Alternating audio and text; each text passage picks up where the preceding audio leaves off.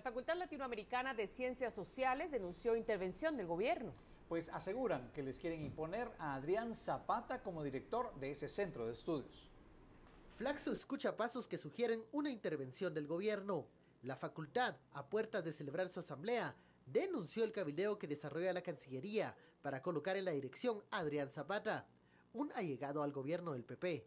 El Consejo Superior de Flaxo eh, acepte las, las candidaturas, la de la doctora Beatriz Cepeda, que es la de la comunidad Flaxo, Guatemala, y acepte también la candidatura del doctor Adrián Zapata.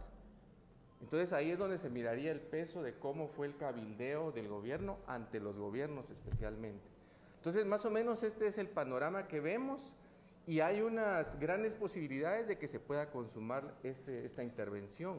El claustro académico se manifestó preocupado por el segundo intento de injerencia gubernamental.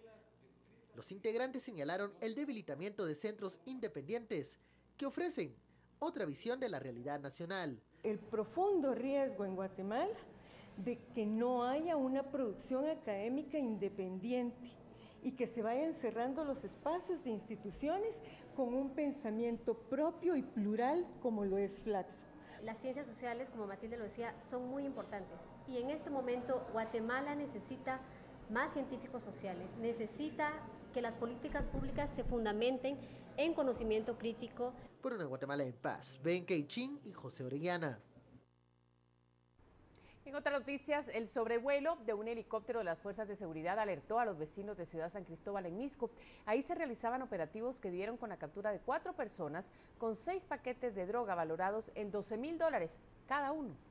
La Subdirección General de Análisis de Información Antinarcótica realizó el allanamiento en la séptima calle y tercera avenida, condominio Windsor, Boulevard San Cristóbal, zona 8 de Misco. En el interior de la residencia identificada con el número 2, se arrestó a tres hombres y una mujer con seis paquetes de droga, valorados en 12 mil dólares cada uno. Han decomisado 6 kilos de cocaínas, valorado en más de 13 mil dólares cada uno. Estos kilos de cocaína serán trasladados hacia las bodegas de la SGAI en la zona 6 después de la, de la diligencia que se está realizando en este lugar. Cabe resaltar de que se ha decomisado varios teléfonos celulares, documentos, memorias USB y una computadora portátil que servirá para las investigaciones posteriores a las capturas que se han realizado este día. De personas identificadas como José García Cordero de 23 años, Cristian José López Pérez de 29, Augusto Herrera Piedrasanta de 36 y Ana Cecilia González Celada de 22 años. Se cree que este lugar funcionaba como centro de operaciones del narcotráfico, compra y venta de droga. Además, Castillo informó que la investigación continúa para determinar si existen más personas involucradas y si se utilizaron vehículos para transportar la droga. Los capturados fueron trasladados al juzgado de turno en Misco, sindicados de delitos relacionados al narcotráfico, por una Guatemala en paz, Cristian Martínez y Diego Marcos. En otros temas, la muestra de cine internacional llamada Memoria, Verdad y Justicia, un evento cultural para la región centroamericana, se realiza anualmente en nuestro país. Arrancó este día en su quinta edición y finalizará el 8 de junio. Este es un proyecto que visualiza los múltiples esfuerzos de los países para alcanzar la justicia. En esta quinta edición presentará películas de temas populares que crea un espacio de reflexión en la sociedad. La inauguración oficial se realizó en el Teatro Nacional Miguel Ángel Asturias y se presentarán diferentes películas en las salas de los cines Capitol en la Sexta Avenida de la Zona 1. Este proyecto promueve el intercambio de ideas sobre la memoria, la verdad, la justicia y los derechos humanos.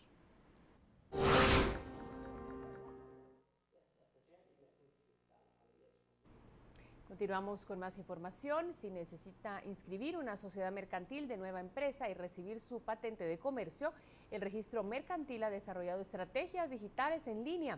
En dos días podría recibir su inscripción provisional para su empresa o negocio.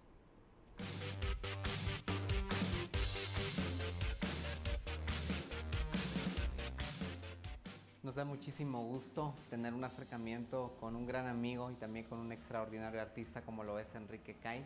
En esta ocasión, pues en este montaje, pues muy cerca de lo que es la Fundación Rosas Botrán para que usted pues se dé la cita y pueda conocer más acerca del trabajo de este extraordinario ser humano. Así que Enrique, me da mucho gusto saludarte, que estés con nosotros. Yo sé que estás trabajando, así que es un honor está muy cerquita ahorita de, las obras que, estás planteando al público. Hablemos entonces acerca del nuevo tema. Pues muchas gracias. Eh, el tema de la colección son voladores de sueños. Eh, es una evolución de mi obra, de mi trabajo que durante los últimos años he venido realizando.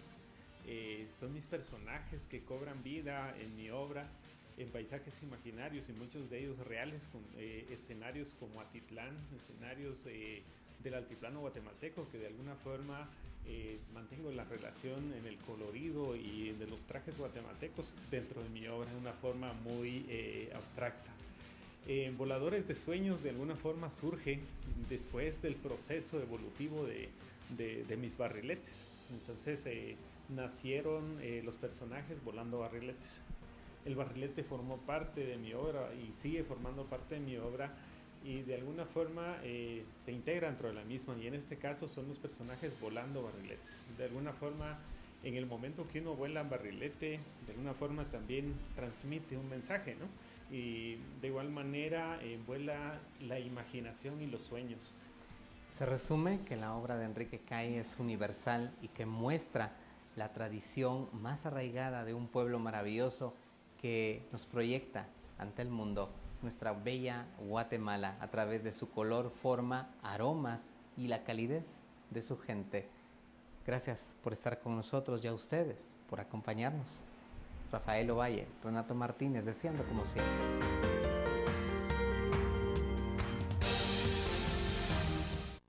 Bueno, se nos acabó el tiempo de presentar las noticias, pero seguimos como siempre trabajando para usted. Que descanse. Que tenga muy buena noche. Recuerde que mañana estaremos también en nuestras tres emisiones. Hasta pronto. Así es. Buenas noches.